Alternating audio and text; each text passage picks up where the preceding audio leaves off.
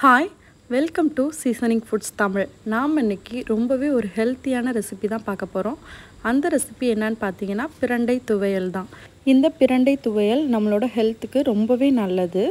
இதோட பெனிஃபிட்ஸ் என்ன அப்படின்றத பற்றி நான் ஷார்ட் வீடியோவாக நம்மளோட சேனலில் போட்டிருக்கேன்.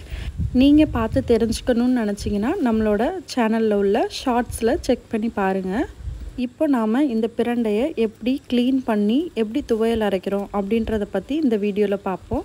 நான் இன்றைக்கி நல்லா ஃப்ரெஷ்ஷான பிரண்டையை பறித்து எடுத்துக்கிட்டேன். இந்த பிரண்டையோட சைடில் வந்து நிறைய நார் இருக்கும். அந்த நாரை நம்ம உரித்து எடுத்துடணும். எடுத்தால் தான் நம்ம துவையல் அரைக்கிறப்ப உங்களுக்கு நார் நாராக இல்லாமல் இருக்கும்.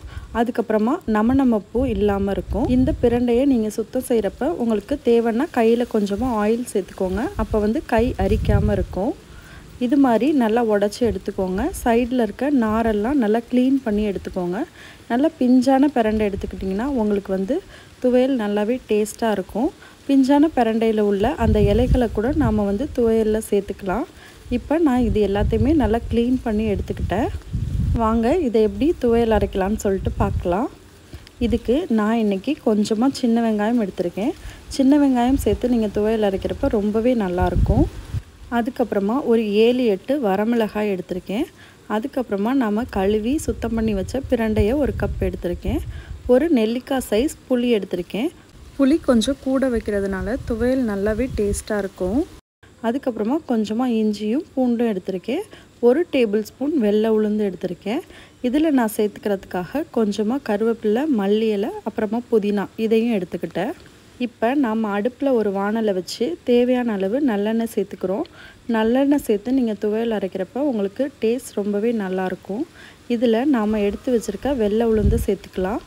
இந்த உளுந்து நல்லா பொன்னிறமாகிற வரைக்கும் வறுத்துக்கோங்க.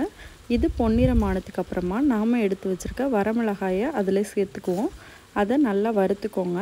அதுக்கப்புறமா நாம் எடுத்து வச்சுருக்க பூண்டு இஞ்சி இதையும் வந்து அதே ஆயிலில் சேர்த்துக்கிறோம்.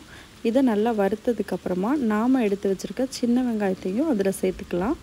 இதெல்லாம் நம்ம எதுக்கு முன்னாடியே வறுக்கிறோன்னா இதெல்லாம் வந்து சீக்கிரமாகவே வறுபட்டுரும். பிரண்டையை வந்து நம்ம தனியாக வறுக்கணும். ஏன்னா பிரண்டை வறுபட ரொம்பவே லேட் ஆகும். இப்போ நாம் வறுப்பட்ட அந்த வரமிளகாயை மட்டும் தனியாக எடுத்துக்குவோம். ரொம்ப வறுப்பட்டுச்சுன்னா மிளகாய் கருப்பாயிரும். அதுக்கப்புறமா மீதி ஐட்டமையும் நல்லா வறுத்துட்டு அதையும் எடுத்துக்குவோம். இப்போ நாம் அதே சட்டியில் நம்ம க்ளீன் பண்ணி வச்சுருக்க அந்த பிரண்டையை சேர்த்துக்க போகிறோம் பிரண்டையை நல்லா நீங்கள் வறுத்து எடுத்துக்கணும்.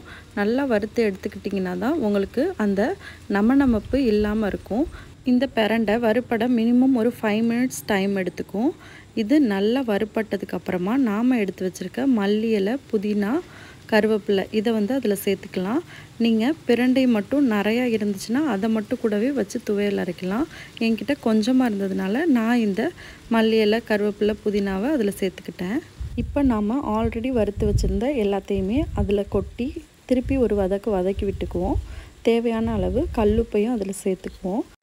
இப்போ இந்த ஐட்டம் எல்லாம் நல்லா வறுத்ததுக்கப்புறமா இதை ஒரு ஃபைவ் மினிட்ஸ் நல்லா ஆற விட்டுருங்க. ஆற விட்டதுக்கப்புறமா நம்ம மிக்சியில் போட்டு அதை அரைச்சி எடுத்துக்கலாம். இந்த பிரண்டை துவையலை நீங்கள் இட்லி தோசை சாதம் எல்லாத்துக்கூடையுமே வச்சு சாப்பிட்லாம். ரொம்பவே நல்லாயிருக்கும். ஹெல்த்துக்குமே ரொம்ப நல்லது. குழந்தைங்களுக்கெல்லாம் நீங்கள் கொடுக்குறதுனால குழந்தைங்களோட ஞாபக சக்தியெல்லாம் இன்க்ரீஸ் ஆகும்.